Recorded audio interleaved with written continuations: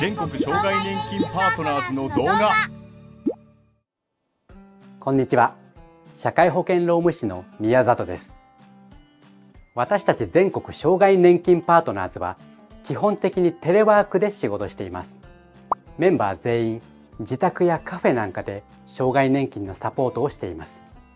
今の世の中はパソコンとスマホがあれば大抵の仕事はできます。ありがたいですね。おかげでコロナの危機に身をさらすリスクを下げられるし家で仕事をすることで家族との時間も増やせます。ただこれだけ世間がテレワークやオンラインを推奨しているのに障害年金の手続きはオンラインでできないんですよ。現在2万2000ほどある行政手続きの中でオンライン申請ができるのは2割ほどです。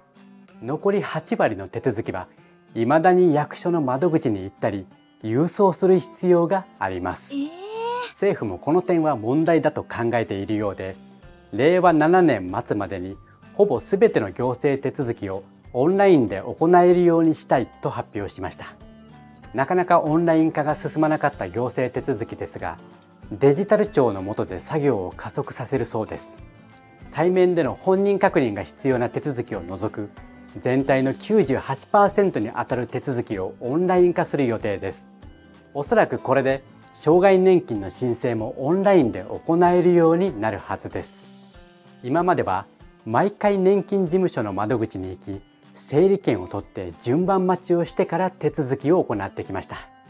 事前に予約をすれば順番待ちしなくてもいいんですが2週間先まで予約が埋まっているなんてことが普通です。2週間も待っていたら10人分ほどの手続きが溜まってしまいます。それはさすがにまずいので午前中の早い段階で年金事務所に行って手続きしたりするのです。とはいえ移動時間や待ち時間がもったいない。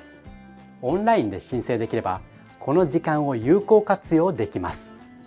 障害年金のサポートはとても時間のかかるものです。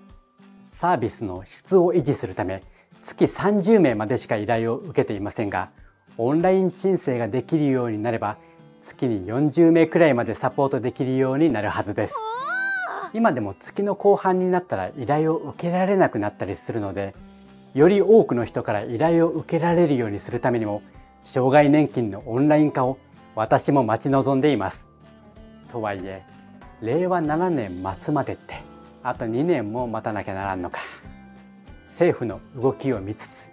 私たちもできることをやっていきます。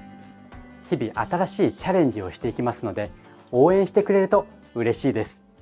うつ病で経済的不安を感じている人は魔法の靴とうつ病になったティラノサウルスという動画をご覧ください。あなたの不安解消につながるはずです。またあなたのうつ病で障害年金を受け取れるか私たちが無料で判定しますので動画のリンク先から判定を申し込みください。